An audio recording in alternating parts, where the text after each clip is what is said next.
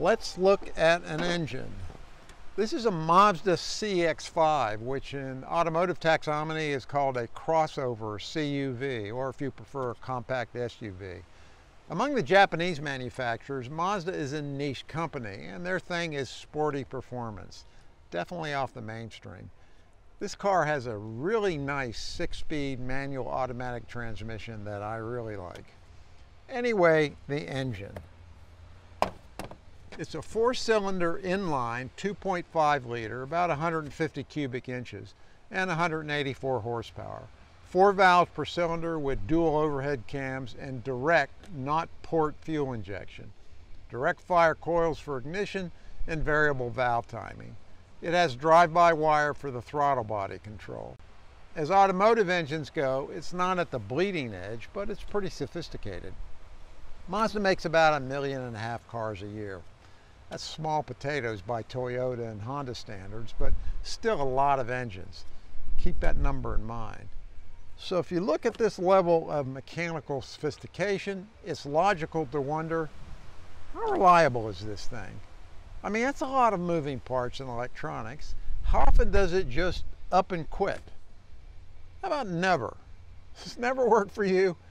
It sure works for me. Now let's compare the Mazda engine to a typical airplane engine. So this is about 40 grand on the hook here. This is a Continental IO 550N. This is arguably the best or one of the best piston engines in general aviation today. It's smooth, kind of derated in this application, which is a Cirrus SR22, and pretty efficient as airplane engines go. It's a six-cylinder horizontally opposed air-cooled engine. 550 cubic inches and 310 horsepower. So that's 70% more horsepower on three and a half times the displacement compared to the Mazda engine we just looked at. Big ass cylinders with 5.2 inch bore and pistons the size of beer kegs. A measly two valves per cylinder, but what they lack in number, they make up for in tendency to stick and burn. This is a pushrod engine. In case you're not familiar, pushrods first appeared on Buicks in 1904 and they haven't changed a hell of a lot since then. The 550 has port fuel injection, not direct injection, and Continental has a pretty good system for that. It too has throttle by wire, a big steel one that runs directly from the pilot's mitts to a mechanical throttle body. No mass air sensor here, but it does have an air filter. Ignition is by a pair of magnetos. Magnetos were invented by Bosch in 1897 and they're not too much different today although it took Bendix a few years to figure out how you could really irritate the hell out of owners by requiring an inspection every 500 hours. And by the way, this engine has a time between overhauls of 2200 hours. You might get that much service out of one. It might even go 3000 hours. The one behind me in the Cirrus went 2400 hours. Or it might tank at 900 hours with soft cylinders or a spun bearing. Either way, it'll cost you north of 40,000 bucks to overhaul, or about 10 grand more than the cost of a new Mazda CX-5. In the whole of the known universe, there are about 225,000 engines like this flying around, give or take. Between Continental and Lycoming, under 10,000 new engines a year are manufactured, plus a bunch of overhauls. Keep those numbers in mind too. So nothing wrong with old technology, right? The less complicated it is, the simpler it is. The less it can break, right? So that means an airplane engine ought to be a lot more reliable than a car engine, and you'd want it to be for reasons I'm sure I don't have to explain. But is an airplane engine actually more reliable than a car engine? It's kind of hard to answer, although you know I'm going to try. But we can look at why they quit. First of all, define quit. For my purposes, quit means this. The airplane loses thrust and the flight ends either as an accident or a reportable incident. This is a quit, or a lot closer to home, this, or even way closer to home, this. This is our Mooney that ended in a muddy swamp in South Carolina. Engine failures for various reasons initiated all of these accidents. But how often does this happen? Well, it's not quite an everyday thing, but engine failures kill and injure people every year and damage or destroy a lot of airplanes. The good news is that both fatal accidents and overall accidents in aviation have trended downward for the past 10 years, but we seem to have reached a plateau. One thing that hasn't changed much is that mechanical issues, stuff that breaks on the airplane, account for about 15% of all accidents every year, but only about 1% of fatal accidents. That's a small number, but not exactly zero either. It's not statistically insignificant. Neither is the fact that of those 15% of accidents caused by mechanical or maintenance problems, more than half, it's about 60%, are the results of power plant problems. If not total failures, then serious enough to cause an accident. That nibbles the risk down some more, but it's still not zero. Also, not all engine failures make it into the database. This one, a Cub engine stoppage a few weeks ago, probably won't make it into the data, nor is it required to. We don't know how many engine failures are never reported. It's certainly some. In the imaginary world I might have lived in when controlled dangerous substances were fashionable, I could crunch numbers and come up with a failure rate based on hours. But the available flight hour data is not very accurate. For this report, I'm relying on NTSB raw accident data, which is itself kind of sketchy.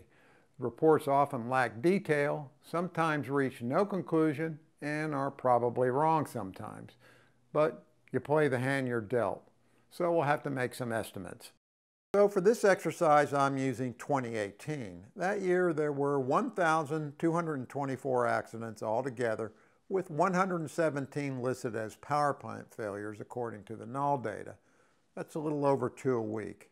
Using the FAA's rough hack on flight hours, real rough, that works out to 0.45 engine accidents per 100,000 flight hours. That's a little more than half the fatal rate, but a tenth of the overall general aviation accident rate. Another way of looking at this is to survey owners and ask them how often their engines quit. NASA did this very kind of survey in 2001 after they posited this stunner. The current reliability of complex GA aircraft systems is unknown. no kidding. Lots of data on airline level equipment, but next to nothing on general aviation piston aircraft. So the NASA researchers constructed a statistical model based on an imaginary six-hour flight. They used this complicated formula to shuffle things around, and they calculated some probabilities, exceedingly low probabilities as it turned out. On this list of stuff that breaks on airplanes, engines rank third of six. Not great maybe, if you're flying over the Rockies at night in a snowstorm, but pretty good odds. So why do they quit? What causes engines to just all of a sudden stop? This may be a disturbing surprise, but a third of the time, no one knows. 29% of engine stoppages have no provable cause. The accident report explains what happened, but doesn't say why. There appear to be several reasons for this. The biggest one is that in a lot of accidents, the airplane lands, the investigator shows up, and the engine starts right up and runs just fine, thus dashing the hopes and prayers of the hapless pilot who desperately wanted to be vindicated by a tank cylinder or fractured fuel line. Quite a few of these happen to this airplane, the venerable Cessna 150, whose Continental O200 is famous for suffering carburetor icing. So the airplane lands in a muddy field after the engine quits. The still warm engine melts the ice and like magic, the airplane starts right up. The ice fairy strikes again. More than a few of these have happened with an instructor on board.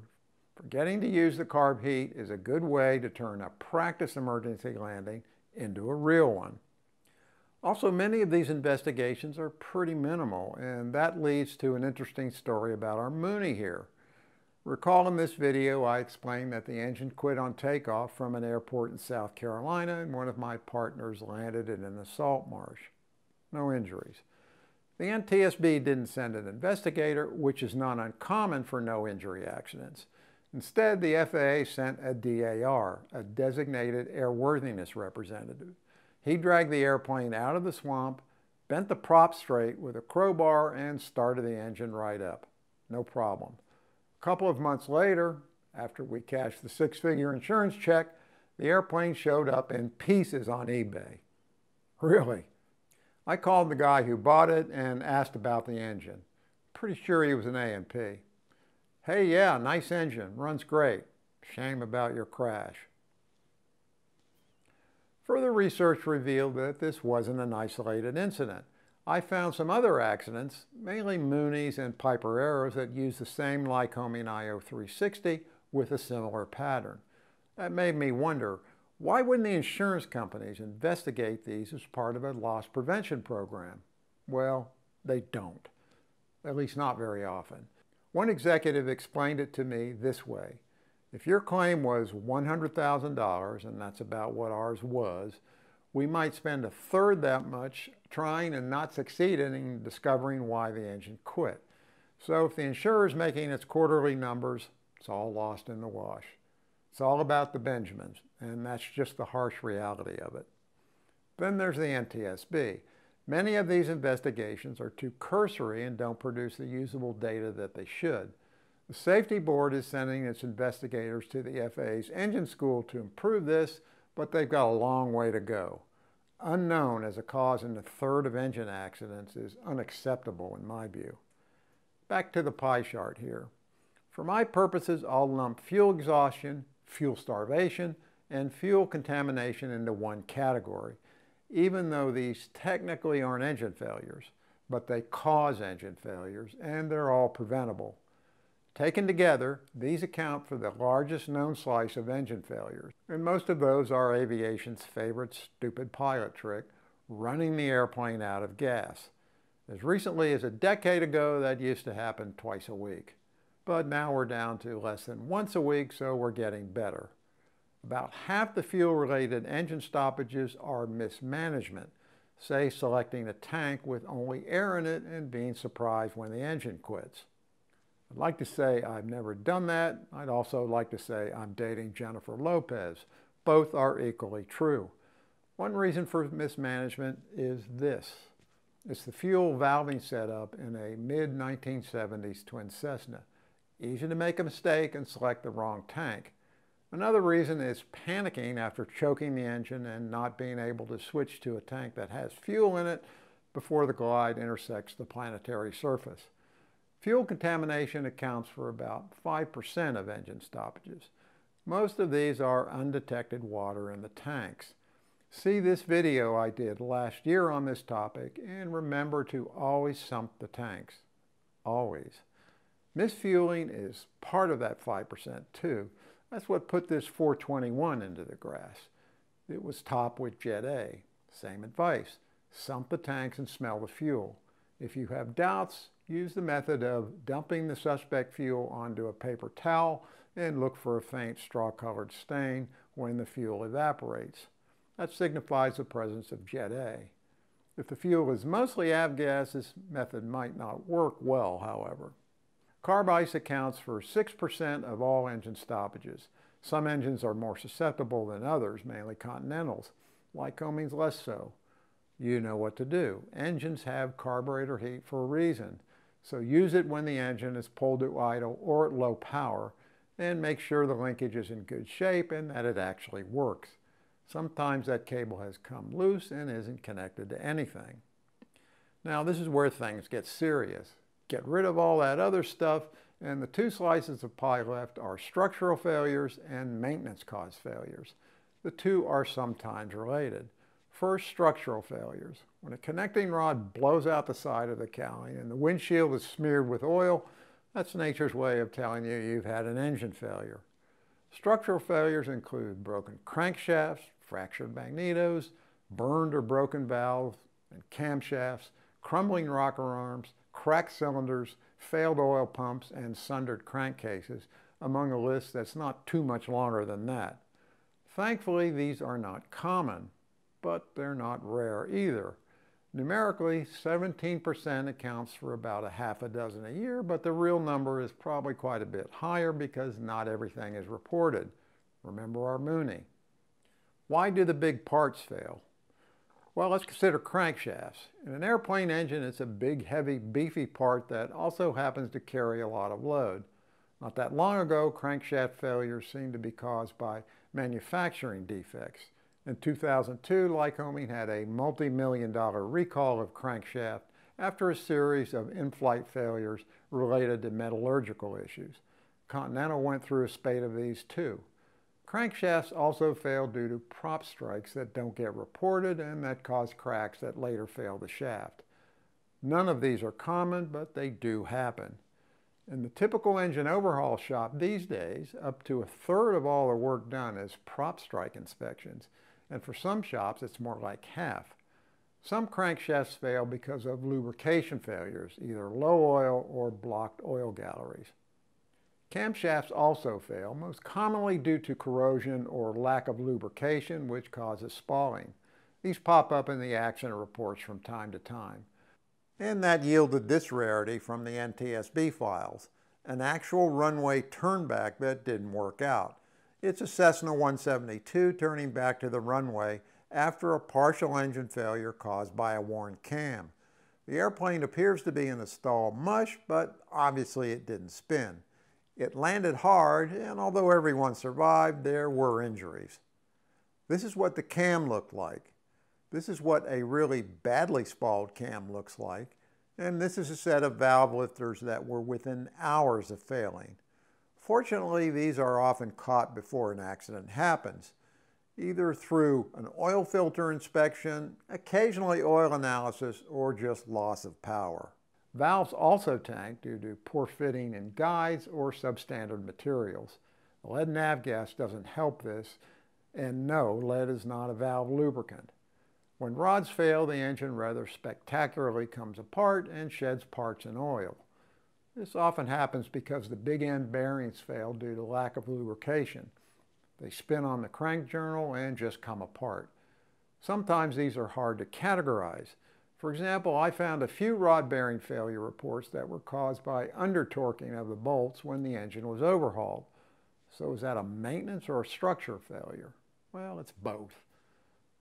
A noticeable number of failures occurred after the engine had cylinder work done, which, as any owner will tell you, is a routine fact of airplane ownership.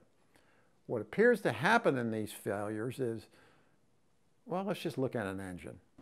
And for that, I'm at my favorite engine shop, Zephyr Engines in Zephyrhills, Florida. Let's start with a basic look at an aircraft engine. This happens to be a Continental O200 Small engine, four cylinder, but it's fairly typical of how aircraft engines are built. Two big castings with these heavy duty studs holding the thing, same thing together. Crankshaft goes in here. The cam goes up here. And the cylinders bolt in from each direction and this is uh, what the connecting rods look like and as you can see they're pretty heavy duty. And when an engine is built up, it's done from the crankshaft outward. And because this entire structure is light and highly stressed, all the torque values on these fasteners are critical, especially the rod bolts and case studs. When an engine is partially opened up for cylinder work, those rod bolts sometimes don't get retorqued correctly, especially on Continental engines, and they end up breaking or coming loose. And that is an ugly, really noisy failure. If the case bolts are improperly torqued, the case halves begin to work, leading to fretting, and that can cause the crankshaft bearings to spin in their mounts, resulting in rapid wear and a progressive failure. It's common for the front nose bearing to fail first. This can produce a rough partial failure, not the engine exploding thrill of a thrown rod cap, but the engine will eventually come apart. While we're here, uh, look at cylinders. Cylinder failures aren't that common, but when they do come apart, it sometimes cracks around the spark plug holes or radial cracks where the cylinder head mates to the barrel, or sometimes at the base of the barrel. These also tend to be partial failures since the piston and rod remain attached rather than blowing a hole in the cowling and treating innocent bystanders to an oil shower. Now, which flavor of engine fails more often, Continental or Lycoming? Neither. It's Rotax. Surprised? Well, I was. Let me explain how I arrived at this. We don't have reliable hours flown data, so we can't calculate a rate per flight hour that way. But we do know how many registered engines are in service, so this data represents failures per 1,000 registered engines. A caveat here, this data is based on small numbers, only 13 total accidents over the six-year period we studied. So a few accidents can swing the conclusion one way or another. I couldn't determine why Rotax is higher than the other two, but it may be small numbers effect. Some of those Rotax accidents were fuel related, but there were mechanical failures in there too. But why do Continental engines appear to have a higher failure rate than Lycomings? I have a theory. The Continental engine population skews more toward high output, large displacement engines like the IO 550 series in the Cirrus I showed you at the beginning of this video. Those engines are more highly stressed and often get midstream cylinder work. This probably makes them more susceptible to failure. Hardly a month goes by when we don't report a spectacular fatal crash on takeoff, leading to the conclusion that engine failures on takeoff are more deadly than in other phases of flight. But is that really true? Let's blow up the pie chart again. According to this accident sweep, failures occur about equally on takeoff and in cruise as a percentage of all engine failure accidents. It's in the mid 30 percentile range. But takeoff represents a smaller portion of the total flight time, so yeah, on a per hour basis, the risk during takeoff is definitely higher. But what about the fatal accident risk? This is where it gets interesting. For both takeoff and cruise engine failures, fatalities occurred in one third of the accidents. So on an occurrence basis, takeoffs are no more deadly than cruise. The eye opener is that an engine failure on takeoff can be deadly for sure, but two thirds of the pilots survive it. Same is true of cruise engine failures. Two thirds survive them too. But engine failures in cruise ought to be far more survivable because you have more time and more options to find a place to park the airplane. You might bend it a little, but it ought to be survivable. Either way, you should regularly practice both emergency landings out of cruise flight and responding to a power failure immediately after takeoff. I've posted a couple of videos on this subject and the links are down in the description. Wrapping it all up, we know this much about engine failures. At least half of them, and probably more than that, are caused by pilots or mechanics doing something wrong or stupid. Out of the blue, no shit, mechanical failures are under 20% of the total engine failures. So that's a small fraction of the 1% of fatal accidents caused by mechanical failures overall. You can reduce it further by doing a few things. And I really shouldn't have to say this, but put enough gas in the airplane. Check the tanks for water, always. Never skip it. Put enough oil in the airplane and consider using oil analysis. That might detect a failure trend before it is a failure. Same applies to engine monitors. Modern ones record engine data that can be analyzed for trends. That's how the airlines do it. Know how the fuel plumbing works and how much fuel the tanks actually hold, not what the POH says they hold. Use the carburetor heat when you're supposed to. Don't skip engine maintenance, including mag inspections, and once every couple of months, I like to pull the cowls off the airplane and spend 15 minutes inspecting stuff, looking for loose fasteners, chafed hoses, leaks, that sort of thing. I once found an oil filter that hadn't been safety wired and was starting to come unscrewed, and a loose alternator cable. It's worth looking. Otherwise, don't stress too much about an engine failure. On the long list of stuff that will kill you in flying, it's actually pretty far down the list. Thanks to LJ Warren here at Zephyr Engine for letting me paw around the scrap pile. AVweb, I'm Paul Bertorelli. Thanks for watching. Oh, and uh, by the way, my Mazda quit yesterday. The battery went belly up.